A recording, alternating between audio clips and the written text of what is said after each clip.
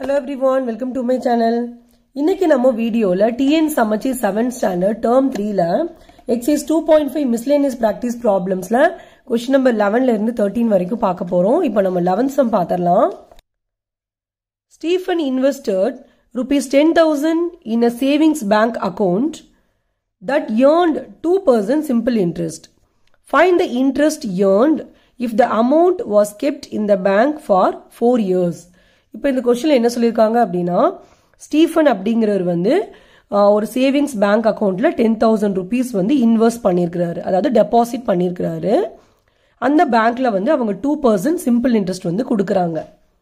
இப்போது அந்த அமௌண்ட் வந்து அவர் ஃபோர் இயர்ஸ் வந்து பேங்க்கில் வச்சுருந்தாருன்னா எவ்வளோ இன்ட்ரெஸ்ட் வந்து ஏர்ன் பண்ணியிருப்பாரு அப்படின்னு கேட்குறாங்க ஓகே? சிலர் வந்து சிம்பிள் இன்ட்ரெஸ்ட் அப்படின்னா என்னன்னு தெரிலன்னு சொல்லியிருந்தீங்க. இப்போ பாருங்க நம்ம இந்த சம்மையே ஒரு எக்ஸாம்பிளா எடுத்துக்கலாம். இப்போ நம்ம ஒரு பேங்க்ல வந்து டென் தௌசண்ட் ருபீஸ் வந்து டெபாசிட் பண்றோம். அப்போ அந்த பேங்க்ல சொல்றாங்க உங்களுக்கு டூ பர்சன்ட் சிம்பிள் இன்ட்ரெஸ்ட் வந்து நாங்கள் கொடுக்குறோம் அப்படின்னு சொல்றாங்க. ஓகே அப்போ நம்ம ஒரு ஃபோர் இயர்ஸ்க்கு வந்து அந்த அமௌண்ட் வந்து டெபாசிட் பண்ணியிருக்கோம் அப்படின்னா நமக்கு சிம்பிள் இன்ட்ரெஸ்ட் வந்து எவ்வளோ வரும் அப்படிங்கறத நம்ம கண்டுபிடிக்கணும்.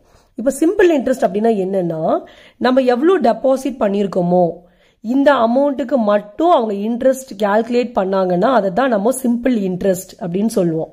அதாவது இப்போ டென் தௌசண்ட்க்கு டூ பர்சன்ட்டுங்கிறது எவ்வளோ அப்படின்னா டூ ஹண்ட்ரட் ருபீஸ் அப்போ ஒரு வருஷத்துக்கு அவங்க டூ ஹண்ட்ரட் ருபீஸ் வந்து நமக்கு இன்ட்ரெஸ்ட் கொடுப்பாங்க அப்படின்னு அர்த்தம். அப்போ நாலு வருஷத்துக்கு எவ்வளோ கொடுப்பாங்க? எயிட் ஹண்ட்ரட் ருபீஸ் கொடுப்பாங்க இல்லையா? அப்போ இன்ட்ரெஸ்ட் வந்து நமக்கு எயிட் ஹண்ட்ரட் அப்படின்னு கிடைக்கும். அப்போ நாலு வருஷம் முடிஞ்சதுக்கு அப்புறமா நம்ம போய் பணம் எடுப்போம் இல்லையா அந்த பேங்க்ல அப்போ நமக்கு எவ்வளோ கிடைக்கும்? நம்ம டெபாசிட் பண்ண டென் தௌசண்ட் அதுக்கப்புறம் அந்த பேங்க்காரங்க வந்து நமக்கு எயிட் ஹண்ட்ரட் ருபீஸ் வந்து இன்ட்ரெஸ்ட் கொடுப்பாங்க. அப்போ இது ரெண்டும் சேரும் போது நமக்கு ten thousand eight hundred rupees வந்து கிடைக்கும். இப்போ புரிஞ்சுதா உங்களுக்கு சிம்பிள் இன்ட்ரெஸ்ட்னா என்னன்னு சொல்லிட்டு? சிம்பிள் இன்ட்ரெஸ்ட் அப்படிங்கிறது என்னன்னா நீங்க எவ்வளோ டெபாசிட் பண்ணீங்களோ இந்த டெபாசிட்டுக்கு மட்டும் அவங்க இன்ட்ரெஸ்ட் கால்குலேட் பண்ணாங்கன்னா அதை தான் நம்ம சிம்பிள் இன்ட்ரெஸ்ட் அப்படின்னு சொல்லுவோம். ஓகே இப்போ நம்ம சம் போயிடலாம்.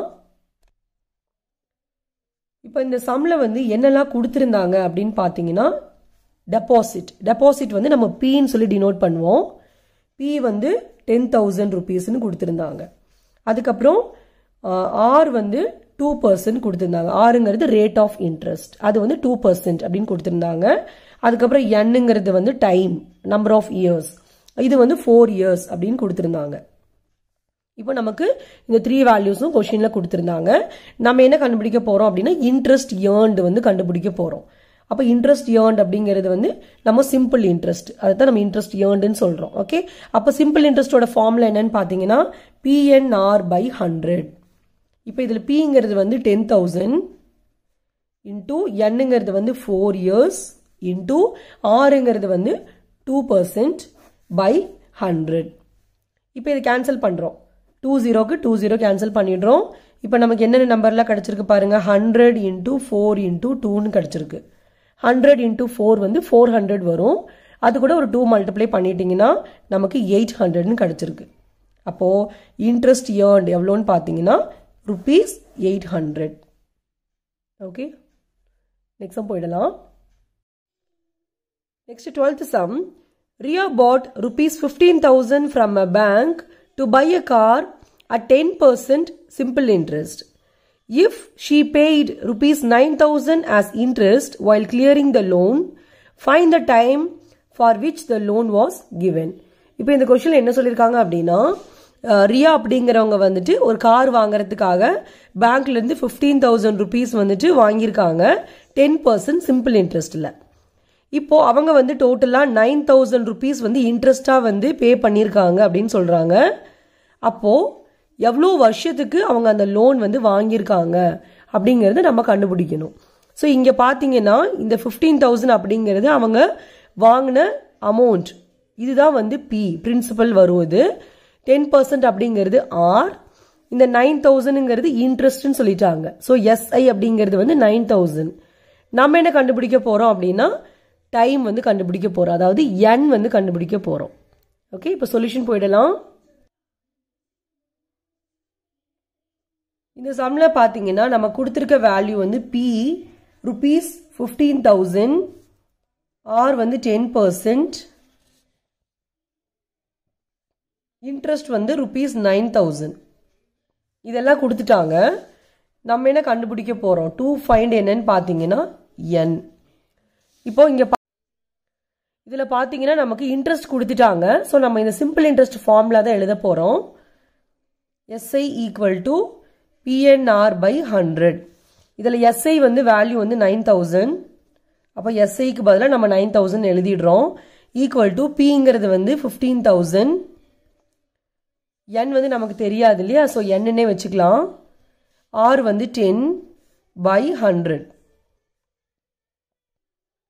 இதில் நம்ம என் கண்டுபிடிக்க போகிறோம் அது வந்து நியூமரேட்டரில் இருக்குது பாருங்க. ஸோ இதை வந்து நம்ம ரைட் ஹேண்ட் சைடே வச்சுக்கலாம். இங்கே வந்து நைன் தௌசண்ட் இருக்குது இதையும் நம்ம அப்படியே எடுத்து எழுதிக்கலாம். இப்போ என் கூட இருக்கு இல்லையா? இந்த நம்பர்ஸ் வந்து நம்ம நெக்ஸ்ட் சைடு மூவ் பண்ண போகிறோம் அதாவது லெஃப்ட் சைடு வந்து மூவ் பண்ண போகிறோம் அப்படி நீங்கள் மூவ் பண்ணும்போது இங்கே டினாமினேட்டரில் இருக்க நம்பர் வந்து நியூமரேட்டர் போயிடும். இங்கே வந்து நியூமரேட்டரில் இருக்க நம்பர் வந்து டினாமினேட்டருக்கு வந்துடும். ஓகே அப்போ இங்கே பாருங்கள் ஹண்ட்ரட் வந்து இங்கே டினாமினேட்டரில் இருக்குது அதாவது கீழே இருக்குது அப்போ நீங்கள் நெக்ஸ்ட் சைடு மூவ் பண்ணும்போது இது மேலே போயிடும். அதாவது நியூமரேட்டரில் போயிடும். ஸோ நியூமரேட்டரில் நம்ம இன்டூ ஹண்ட்ரட்னு எழுதிட்டோம். அதே மாதிரி இந்த ஃபிஃப்டீன் தௌசண்ட் டென்னுங்கிறது நியூமரேட்டரில் இருக்குது அது வந்து டினாமினேட்டர் வந்துடும். அப்போது டினாமினேட்டரில் வந்து நமக்கு ஃபிஃப்டீன் தௌசண்ட் இன்டூ டென்னுன்னு கிடச்சிருக்கு. இப்போ இதை நம்ம கேன்சல் பண்ணிடலாம். ஜீரோக்கு ஜீரோ கேன்சல் பண்ணிடுறேன். அதுக்கப்புறம் இங்கே இருக்க ஜீரோக்கு இந்த ஜீரோ கேன்சல் பண்ணிடுறேன். அப்புறம் இந்த ஜீரோக்கு இந்த ஜீரோ இந்த ஜீரோக்கு இந்த ஜீரோ அடுத்து இது ரெண்டு நம்பரையும் வந்து நம்ம ஃபைவ் டேபிளில் கேன்சல் பண்ணலாம். த்ரீ ஃபைவ்ஸா ஃபிஃப்டீன் இங்கே ஒன் ஃபைவ்ஸா ஃபைவ் பேலன்ஸ் வந்து ஃபோர் வரும். இப்போ ஃபார்ட்டி ஆயிடுச்சு. எயிட் ஃபைவ்ஸா ஃபார்ட்டி இப்போ இந்த ரெண்டு நம்பரும் த்ரீ டேபிளில் கேன்சல் பண்ண முடியும். ஒன் த்ரீ ஜா த்ரீ சிக்ஸ் த்ரீ ஜா எயிட்டீன் இப்போ பாருங்கள் நம்ம எல்லாமே கேன்சல் பண்ணிட்டோமா? ஸோ நமக்கு என்ன கிடச்சிருக்கு? சிக்ஸ் இன்ட்டு ஒன் சிக்ஸ்ன்னு கிடச்சிருக்கு நியூமரேட்டரில் பை டினாமினேட்டரில் பாருங்க one into one so one வரும். ஸோ சிக்ஸ் பை ஒன் அதுக்கு பதிலாக நம்ம வெறும் சிக்ஸ்ன்னே எழுதிக்கலாம். அப்போது N is equal to six years இந்த சம்மில் வந்து டைம் கேட்டிருந்தாங்க நம்ம டைம் வந்து கண்டுபிடிச்சாச்சு. ஓகே நெக்ஸ்ட் சம் போயிடலாம். Thirteenth sum in how much time will the simple interest on rupees 3000 at the rate of 8% per annum be the same as simple interest on rupees 4000 at 12% per annum for 4 years.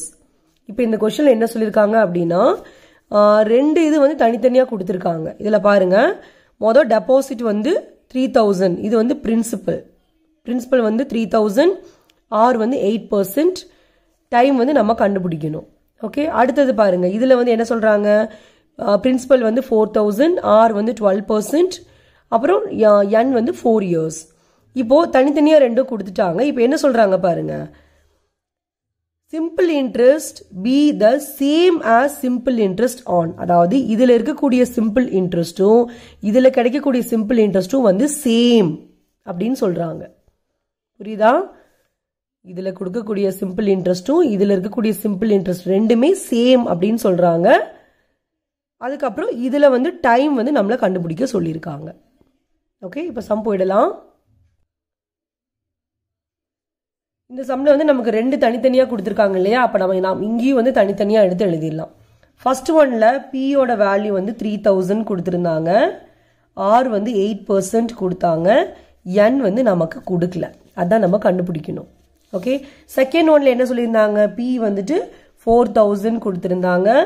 ஆறுங்கிறது வந்து twelve percent N வந்து four years இதோட simple இன்ட்ரெஸ்ட்டும் இதோட simple இன்ட்ரெஸ்ட்டும் equal same அப்படின்னு சொல்றாங்க.